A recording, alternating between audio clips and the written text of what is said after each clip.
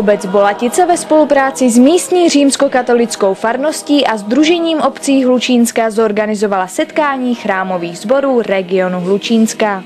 Tentokrát v kostele svatého Stanislava v Bolaticích. Akce byla zahájena úvodním proslovem starosty obce a místního kněze.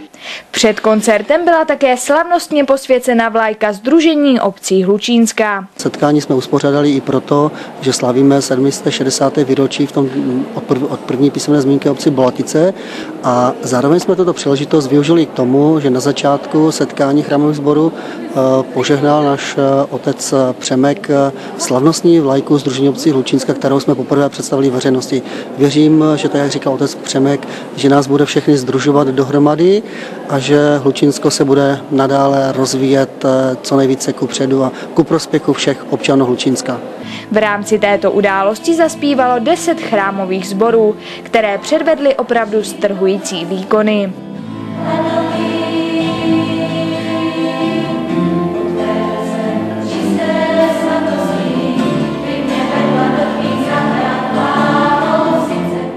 Myslím, že všichni, kteří tady dnes přišli do kostela, tak odcházeli s nádherným pocitem, protože jednak uh, slyšeli výborný zpěv a jednak i krásné slova. Uh, plno duchovna tady zaznělo, takže věřím, že uh, budou všichni vzpomínat v dobrém tady na tyto chvilky, které prožili s námi v kostele svatého Stanislava.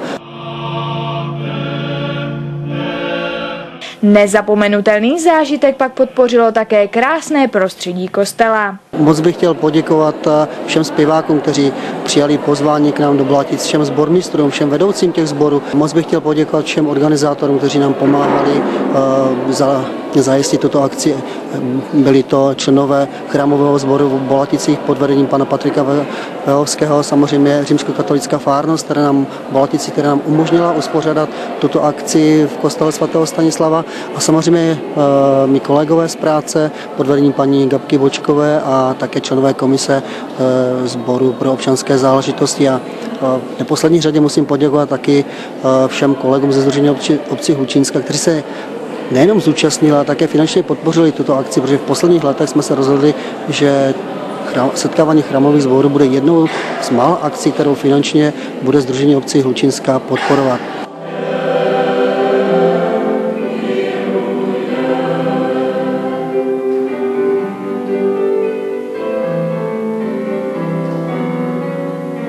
Finální píseň zaspívali společně všichni účinkující, což čítalo zhruba 200 lidí, kteří se tak všem přítomným postarali o jedinečný zážitek.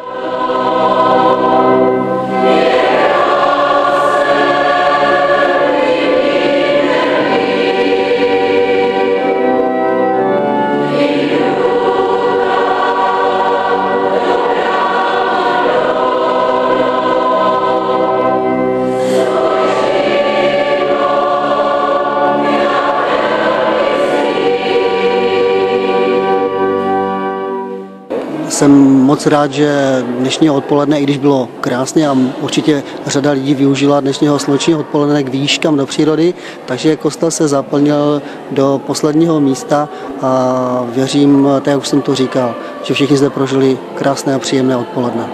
Z Bolatic Markéta Janíková.